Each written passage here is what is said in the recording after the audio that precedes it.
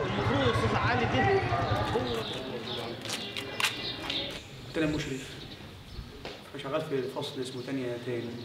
في الدور التالت. والعيال نازله من فوق في إعدادي. فانا دوري كمشرف ان أنا أنا امشيه عشان إيه؟ اللي عنده السبعة وأنا عندي الحصه الثانية اشتغل بعدهم يعني فانا دوري أنا امشيهم فمشيتهم فلقيت زيطة. فلقيت واد واقف قدام الفصل اللي أنا شغال فيه. بيشاور للعيال جوه. قول يا حبيبي يلا من فراح مشوحني في وشي. انت عاوز مني إيه؟ عاوز مني إيه؟ قلت له يا حبيبي بقول له يا حبيبي امشي من هنا. أنا بشاور ابن عمي جوه. له كان كده بيسد ليه؟ قلت له يا حبيبي على كتفه كده يلا يا حبيبي امشي من هنا. زقيته على كتفه كده ادب أنا اعلمك إزاي تزقني كده. اعلمك الادب وراح جاري قال لك بقى أبويا أبويا ابويا فراح مشاور عليا.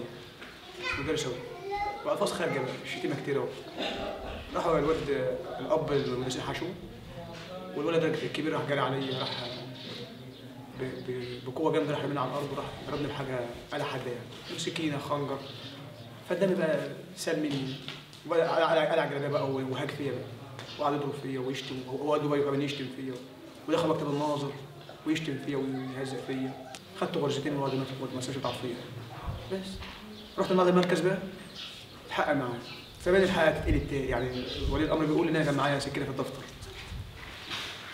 فهم ناس فاصله يعني تحت يقلبوا الحقيقة يعني. من- كمدرس وكل المدرسين. النادي قدام الطلبة إنه علي ويجي بلطجه من بره المدرسة يخش المدرسة ويتحجم عليا يعتدي عليا جوه المدرسة ديت كبيرة قوي بالنسبة لي كمدرس وكل المدرسين اللغة العربيه هذا منزل في مدرسة